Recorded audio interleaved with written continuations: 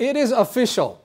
The Iranian people have officially divorced their Islamic government. When did it happen? It happened in the last election. Let me explain. The relationship between the people of Iran and Islam and their Islamic rulers is just like a marriage. Pre 79, there was romance. The people of Iran were saying, Oh, Islam is great. These Islamic rulers and these Islamic leaders, they love us more than Shah does, more than anybody else does. So there was a romance there. In 79, when 98% of Iranians voted, they said, we want Islamic government. That's where the marriage certificate, the marriage co contract was signed, and Iran became officially an Islamic nation. The people of Iran said, officially, we belong to you. We belong to our Islamic rulers and leaders. Now, after 79, over the last 40 years, the people of Iran have waken up to this new husband and said, Oh my gosh, this husband is not what I thought he would be. He is not loving, he is selfish, he is cruel. He makes a lot of money, he is rich, but he doesn't spend the money for us. We're going hungry. And if we protest, if we speak up, he is cruel, he beats us up. Our children are going hungry and he doesn't care. He is not the husband that he said he's going to be. And he is abusive and he's selfish. So, over the last 40 years, gradually the people of Iran started questioning Islam and the Islamic rulers and leaders. And that's kind of like that husband, who is that? And do I really want that?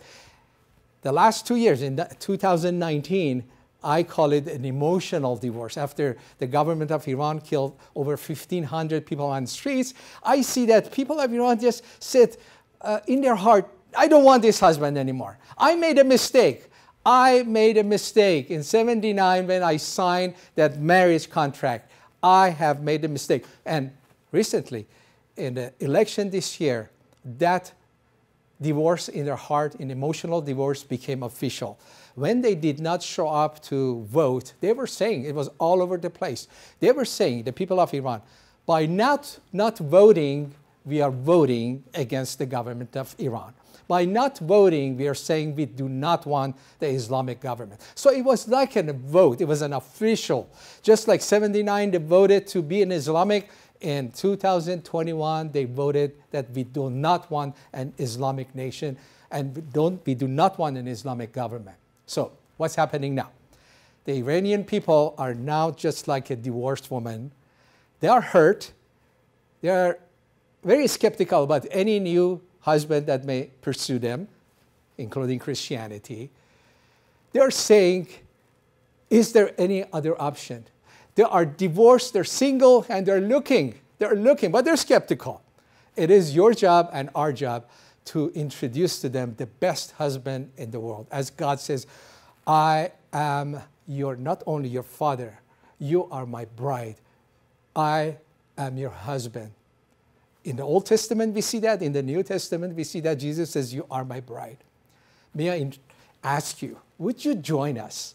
Would you join us to introduce these single looking people of Iran looking for new God, new husbands to commit to. They're skeptical. It says, is that, is that is going to be bad or good? But it's your job and our job to introduce the loving God to them who can be the best father, the best husband for the people of Iran.